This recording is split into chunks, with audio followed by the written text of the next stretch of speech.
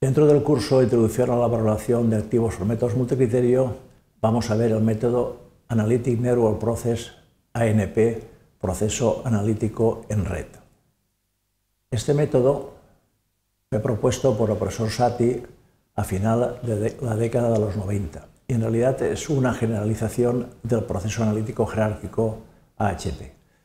Cuando en 1980 eh, Sati propone AHP, ya dice que tiene una serie de limitaciones y que en su momento intentará eh, mejorarlo. Y esa mejora es eh, ANP, porque ANP permite incluir relaciones de interdependencia y realimentación entre elementos. O sea, muchas veces los elementos que intervienen en una decisión están mm, interconectados y esa interconexión con HP no se puede considerar y sí se considera con ANP. De ahí el interés de este modelo ANP.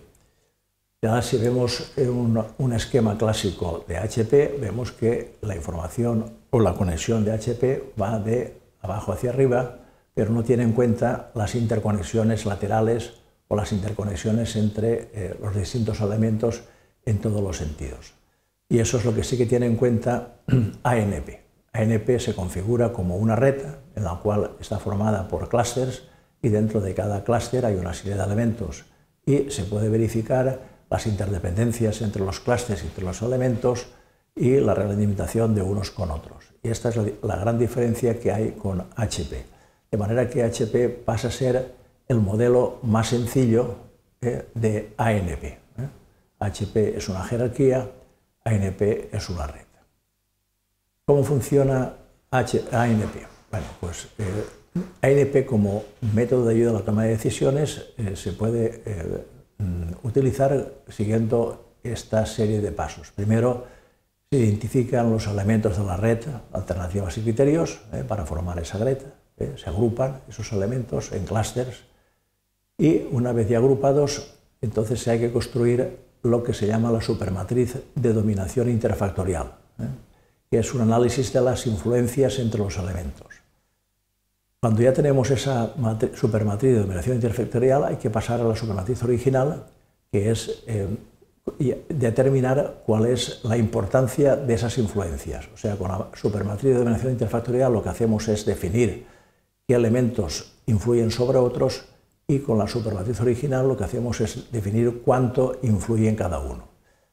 La supermatriz original tenemos que convertirla en una supermatriz eh, eh, ponderada, en la cual todas las columnas sumen uno, y el producto de esa supermatriz ponderada por ella misma nos dará la supermatriz límite, que ya nos da la solución final que estamos buscando. Vamos a verlo un poco paso por paso. Primero identificamos los elementos de la red, alternativas y criterios, y los agrupamos en, sus elementos, en clústeres y, eh, y elementos. Una vez tenemos esto, tenemos que construir la supermatriz de dominación interfactorial, que consiste en ir verificando qué elementos influyen sobre otros. De manera que cuando un elemento influye sobre otro, se puntúa con un 1 y si no influye, se puntúa con un 0. En este ejemplo de aquí, pues vemos que cuando eh, revisamos los componentes E sub 1, E sub 1, 2 y E sub 1, 3, si influyen sobre E sub 1, 1, vemos que los E sub 1, 2 y E sub 1, 3 sí que influyen y los puntuamos con un 1 y sin embargo el E sub 1, 1 no influye sobre el mismo.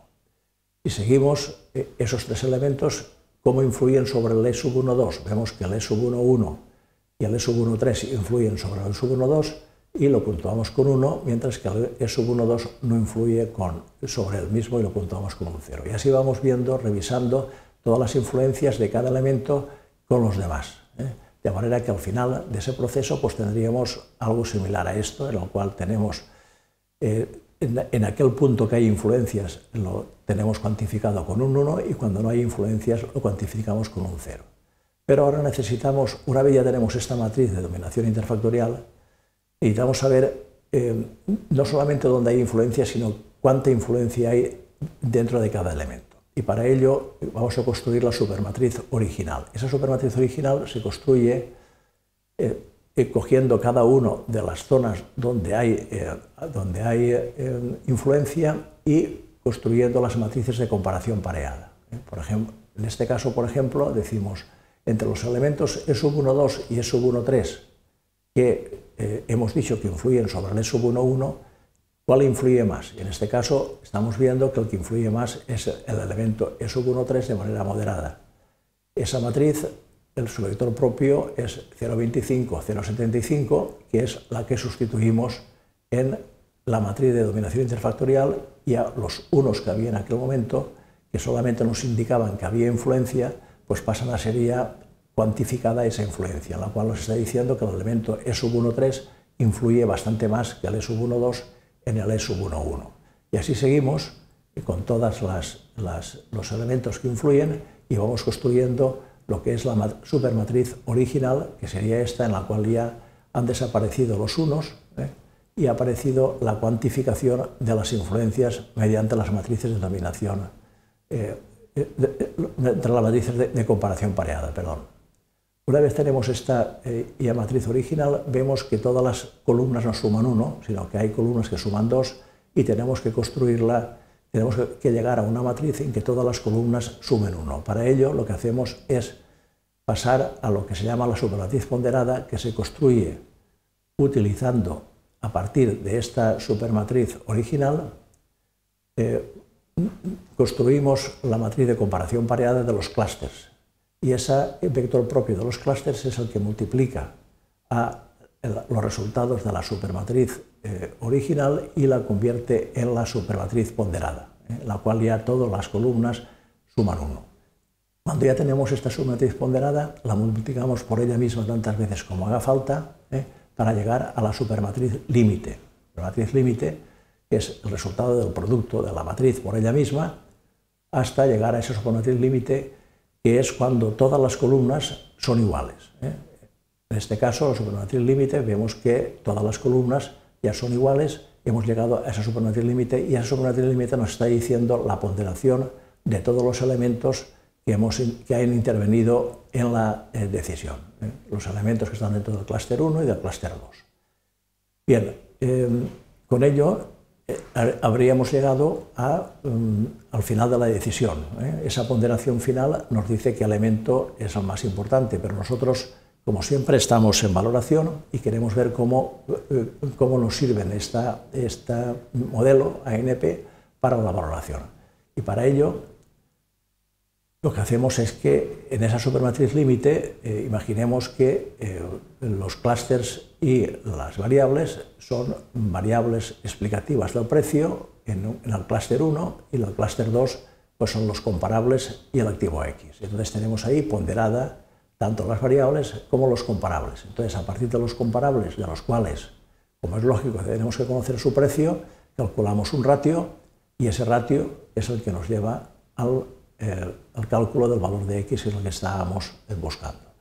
O sea que eh, siempre al final del procedimiento con los, métodos multicriterio, como vimos, hemos visto en el módulo de HP, también consiste en que al final llegamos a unas ponderaciones de los, en este caso de las variables y de los activos, y la ponderación de los activos nos permite calcular un ratio de evaluación que es igual a la suma de los precios de los comparables partida por la ponderación de los comparables y ese ratio multiplicado por la ponderación del activo a valorar nos lleva al determinar el valor que estamos buscando.